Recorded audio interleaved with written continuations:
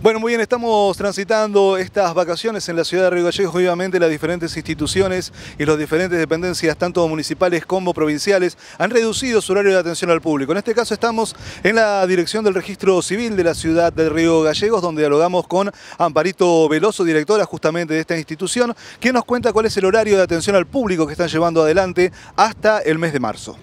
Bueno, el horario de atención es de 10 de la mañana a 13.30.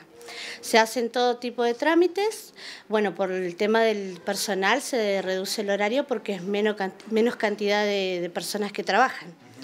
Así que este, por eso se hace reducción horaria en todos los registros civiles. Bien, de todas maneras se sigue trabajando tanto con los documentos nacional de identidad como con todos los trámites que normalmente se hacen acá en, el registro civil. Sí, es, sería DNI, eh, pasaporte, cambio de domicilio, actualizaciones de 5 años y de 14.